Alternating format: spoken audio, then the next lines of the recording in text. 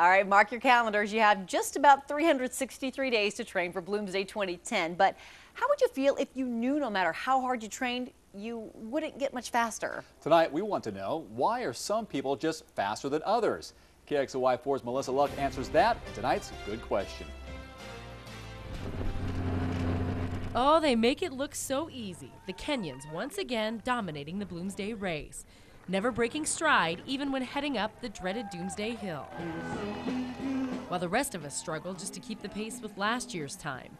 If you trained and hoped for a personal best this year only to be disappointed, we understand. The elite runner is some of the best in the world, and then you have the other 49,900 people that are, that are just out to have fun. Dr. PZ Pierce trains and studies world class athletes and weekend warriors.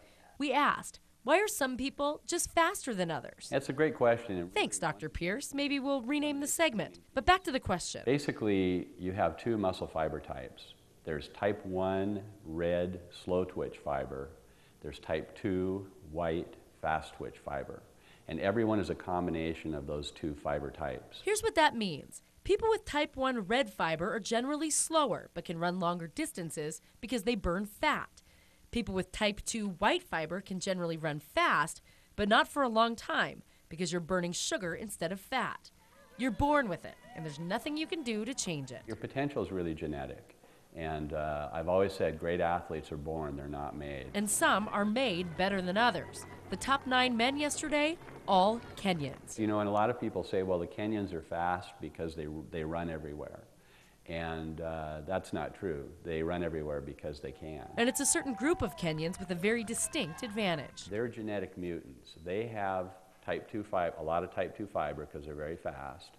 Their type 2 fiber actually can burn fat. So they can run entire marathons at Bloomsday speeds without the painful buildup of lactic acid.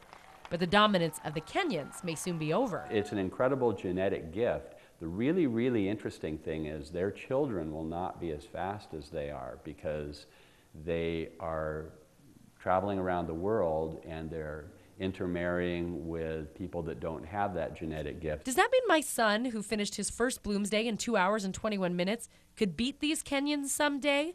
Probably not, but maybe his great grandkids will have a shot. With this good question, I'm Melissa Luck, KXLY4 HD News. And we love to know what you're wondering about. No subject is off limits. Just send your questions to goodquestion at kxly.com.